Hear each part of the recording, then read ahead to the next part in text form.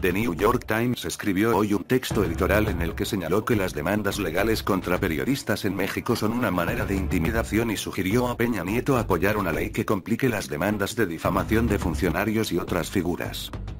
De todos los desafíos que históricamente han bloqueado a la prensa mexicana, incluyendo a la violencia y al hábito de autocensura para apaciguar a los anunciantes, la exposición legal injustificada a la que se somete a los periodistas es relativamente fácil de resolver, indicó la publicación en una editorial.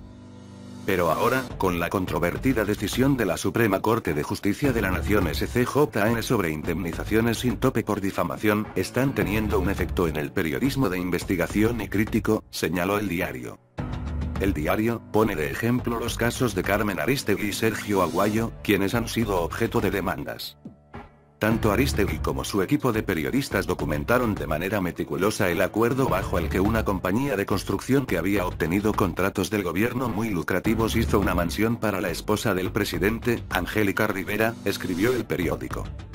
Luego de la publicación del reportaje, Aristegui fue demandada por Joaquín Vargas, dueño de MVS, por daño moral, en respuesta a dichos que aparecen en el libro de la Casa Blanca de Peña Nieto.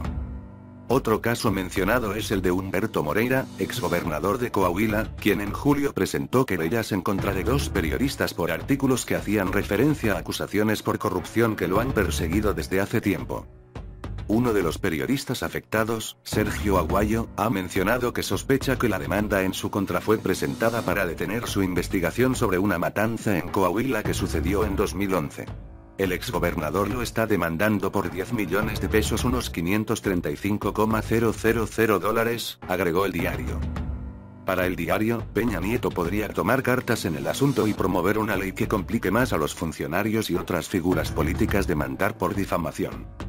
El presidente Enrique Peña Nieto, que ha sido objetivo de acusaciones por sobornos de los que su familia se benefició para obtener propiedades inmobiliarias, sería atinado al apoyar una ley como esa.